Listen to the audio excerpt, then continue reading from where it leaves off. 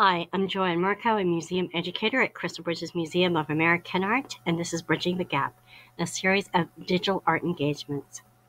In this four-part video series, we will be looking at Valley of the Catawissa in Autumn by Thomas Moran. It will be helpful to have paper and something to write with to respond to the prompts in the video. Please pause the video to collect what you need. Before we get started discussing this work of art, let's take a few moments to look at it closely. Start by letting your eyes wander around the work of art, taking notice of some of the details, such as the colors the artist is using and the objects you recognize in the painting. Please pause the video to give yourself a few moments to look.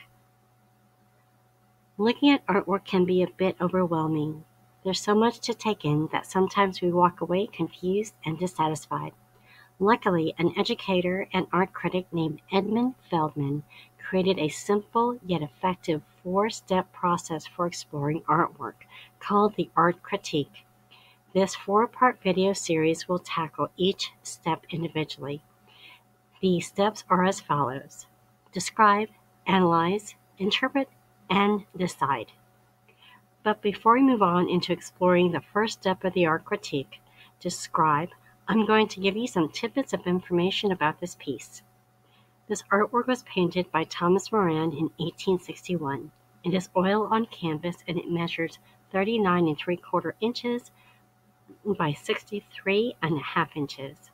And it hangs in a permanent collection at Crystal Bridges Museum. Moran was given an assignment by Harper's Monthly to illustrate for a piece about the Catawissa Railroad. And just for a little geography, Catawissa Valley is roughly about 150 miles west of New York City and 130 miles northwest of Philadelphia. I know what you're wondering. Where is the railroad? The answer is Moran left it out. He was part of an art movement called the Hudson River School.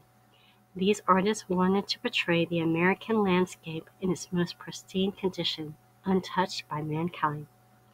Another interesting fact about this piece is that Moran was there sketching in the springtime. So why do you think he painted this landscape in the vibrant colors of autumn? I also want to note that Moran was instrumental in the establishment of our national park system.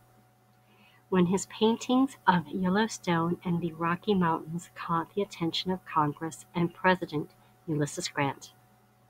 So let's get back into the first step in the art critique. Be ready with your paper and writing instrument of choice in writing down your observations. Step 1 Describe. In this step, we're not going to worry about content. Just describe exactly what you see. Let's start off with the type of artwork this is. It's pretty apparent to say it's a painting. Here are some other questions to guide your looking. What kind of painting is this?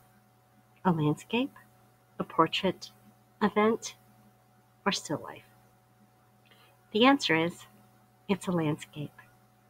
A landscape painting, drawing, or photograph is artwork which depicts natural settings such as valleys, mountains, rivers, trees, etc. Is the painting realistic or abstract? This painting is realistic artwork since it is based on true to life representation on what nature or objects or people really look like. What's the time of day? The season? What's the setting? What's the geographical area? What's the climate? What's in the background, the middle ground, and in the foreground? The background of a landscape is the area of a scene which is furthest away from you. The foreground is the area that is closest to you, and the middle ground is the area that's in between. Take your time and explore each section individually and write your observations. So now you understand the first step of art analysis is simply seeing what is apparent and in the next video, we'll explore step two, analyze. See you next time. Thank you for watching. This has been Bridging the Gap from Crystal Bridges.